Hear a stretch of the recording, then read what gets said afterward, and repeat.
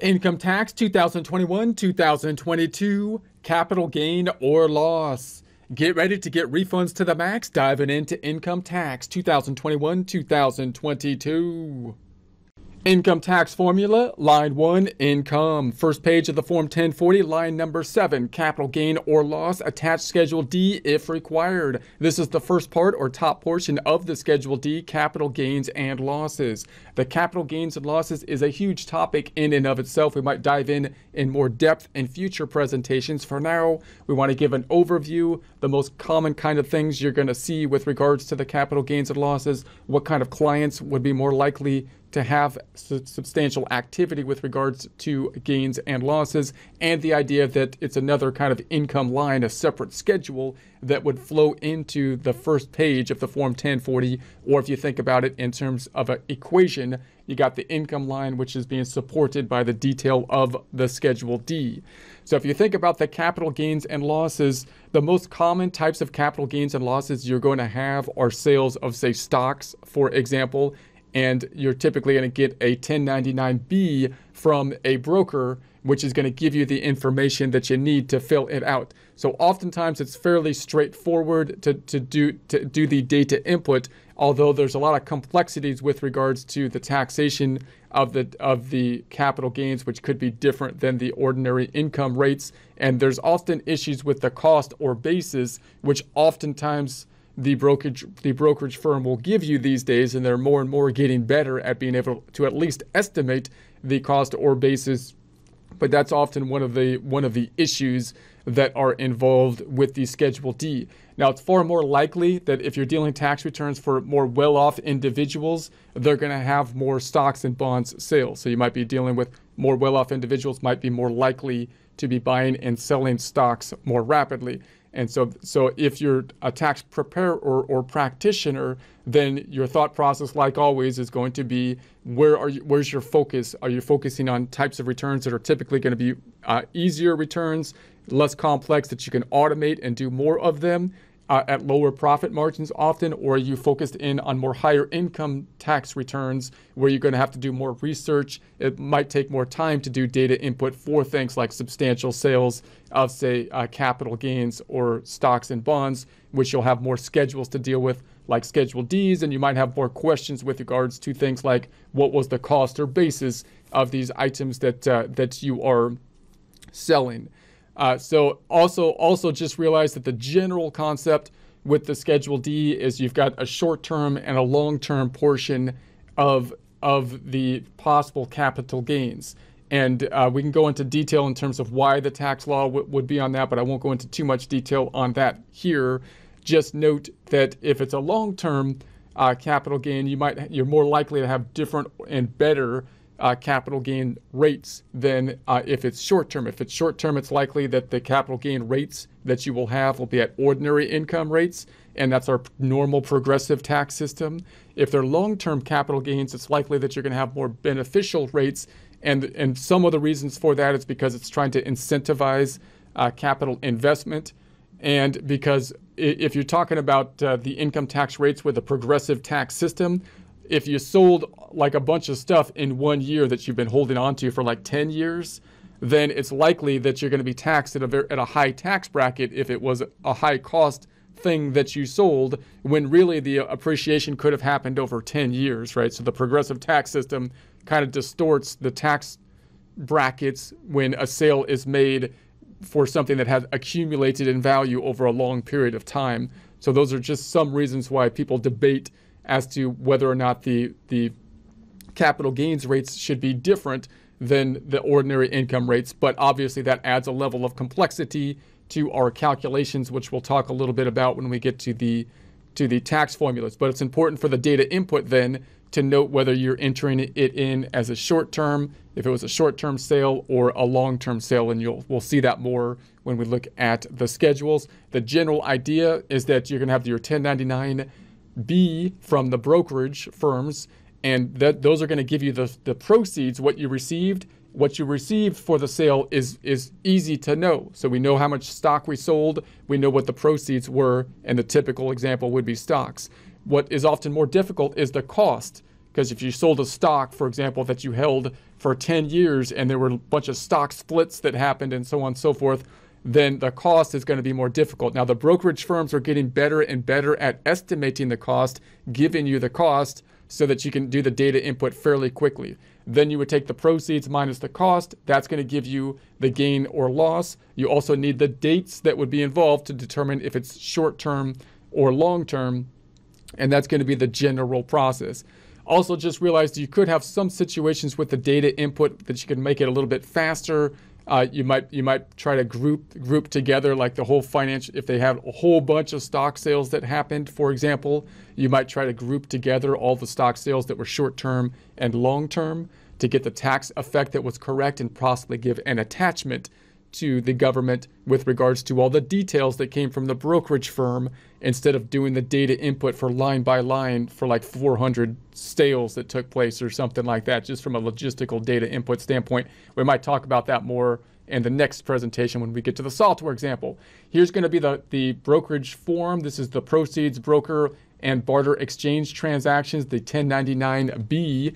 And it might not look like this if you get it from the broker because they might just give you the boxes that they need, but it'll have the boxes that they need and the relevant names or numbers to the boxes so that you could look them up, the instructions, I mean, on the IRS website for the general form 1099B. This would be coming from like the financial institutions, the banks, or whoever they're doing their uh, trading through or with. So we got the payer's TIN, the recipient's TIN, the recipient's name, the address, and so on. The, the applicable checkbox on Form uh, 8949, description of property. So if it was shares, then you're going to have the shares of the property and then basically the amount that was sold. Now, note this in a normal brokerage kind of situation, it would have to be uh, summarized possibly on page one, and then they're going to give you another page that's going to show you all the transactions that, that might show you the detail of what what is happening. So the total proceeds will be on the first page. The detail that you'll have to get to some degree will be typically on the on the latter pages. Date acquired, date sold. These are going to be very important because you, you, that'll help us to determine if it's short term or long term, which could have a tax implication. Now, again, normally the brokerage accounts are going to have the summary of this information on page one, and then you're going to have to go into the detail, which they will typically break out the transactions that were short term and long term, possibly in the detail to the to the reports.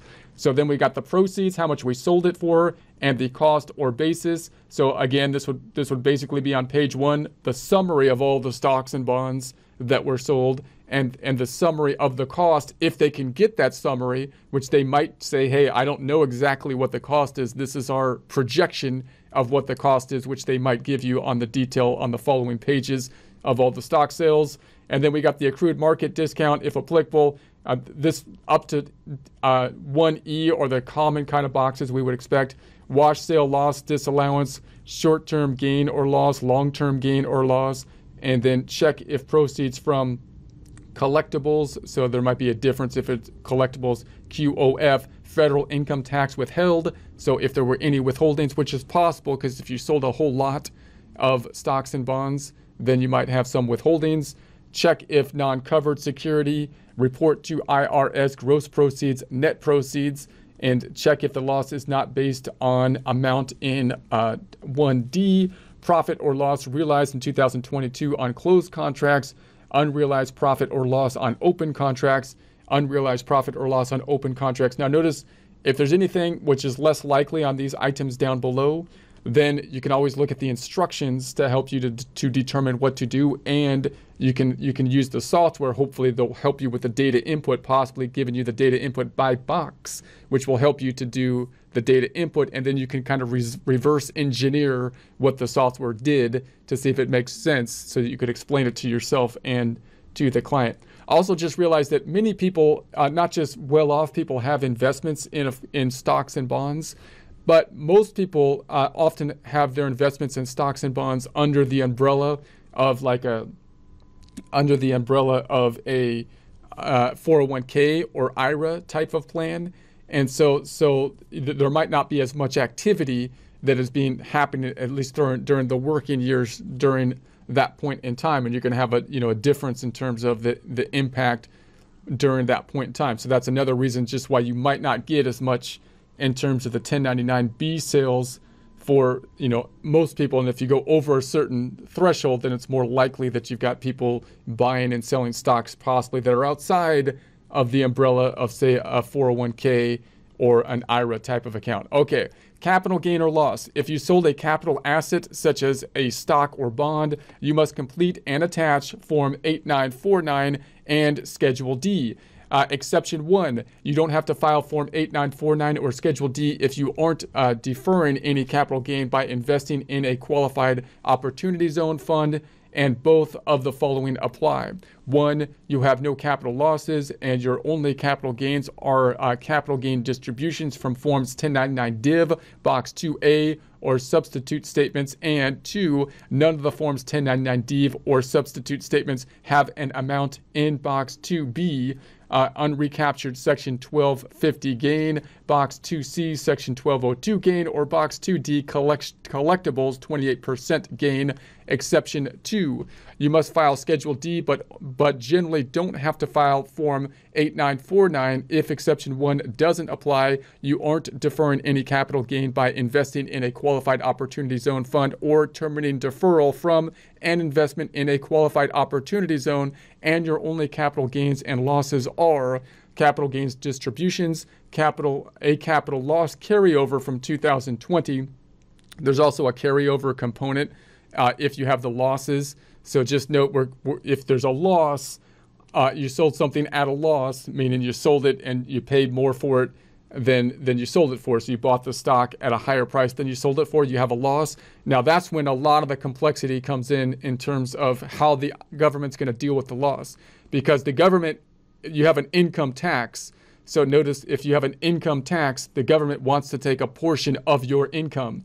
But what if I lost money? The government doesn't want to be on the hook for lost money. They don't want to pay us for bad investments, right? So when there's a loss, the government's going to be skeptical of that. So the question with a loss is, can I take that loss against other income? And that's and that's when some of the confusion often runs in comes into play, especially since the capital gains could be taxed at different tax rates than the ordinary income. So now the question is, well, what if there's a capital loss? Do I get to match out the capital loss against W 2 income, which is at ordinary income rates?